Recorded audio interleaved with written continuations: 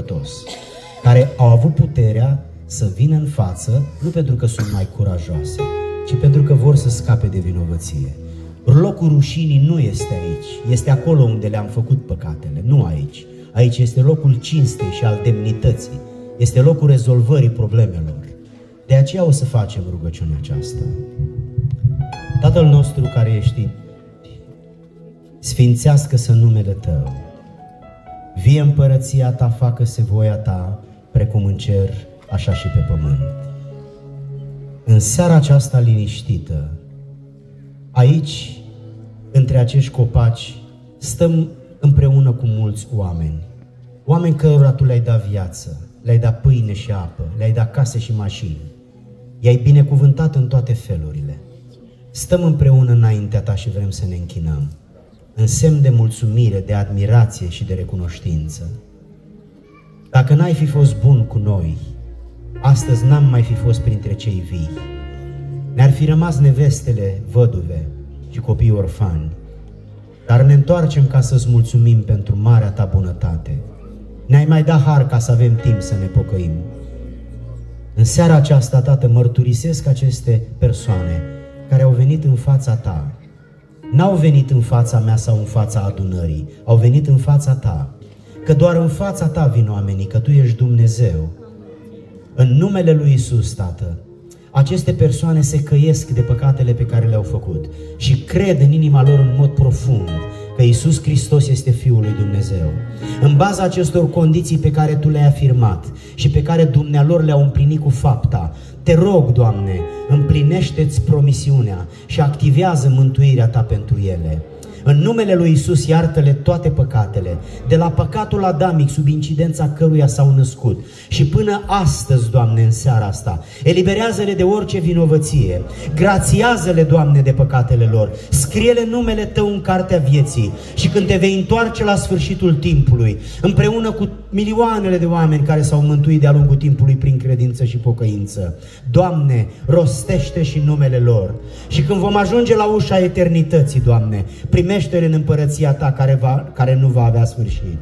În numele lui Isus, îți mulțumesc că ai făcut lucrul acesta schimbându-le statutul din păcătoși în sfinți. Doamne, ne închinăm în fața ta. În numele lui Isus ne rugăm pentru familiile dumnealor, pentru familia restrânsă și extinsă. Ajută-le ca prin viața schimbată care o vor manifesta între cei dragi, să transmită mesajul Evangheliei, să le vorbească despre experiența schimbării din această seară și cei din casa lor să se pocăiască și să vină la Domnul pentru ca să fie mântuiți. Doamne, Tată, îngăduie-ne și următoarea rugăciune. Dacă în mulțimea aceasta de oameni din orașul Deta sunt oameni bolnavi și de-abia au venit până aici în speranța că vor fi atinși cu vindecare de Tine, în seara aceasta rostim cuvântul Tău Iisus Hristos a murit pentru iertarea păcatelor și pentru vindecarea bolilor, în autoritatea jertfei sale de pe cruce, acum 2000 de ani, așa cum ierți păcatele oamenilor prin credință și pocăință. Te rog, vindecă, Doamne, de bol pe cei care cred în Tine, în Iisus Hristos și în sângele Său, în jertfa Sa. Fă o minune, doctorii vindecă prin medicamente, tu vindești prin minuni, pentru că tu ești singurul care poate face minuni. În autoritatea sângelui tău, în capacitatea ta de a face lucruri imposibile și lucruri incredibile, vindecă, Doamne, prin credință pe cei bolnavi.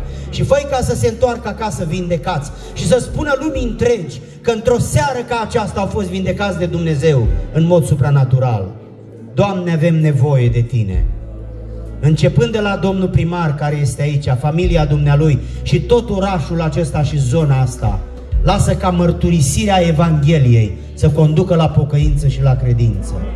Și când se va întoarce Iisus Hristos, Fiul lui Dumnezeu, să nu mergem în iad, că ne-am săturat de iad, să mergem în cer și El să nu ne spună duceți-vă blestemaților, și să ne spună veniți binecuvântaților. La încheierea acestei întâlniri, unde numele Tău a fost rostit de, de zeci de ori, dacă nu de sute de ori.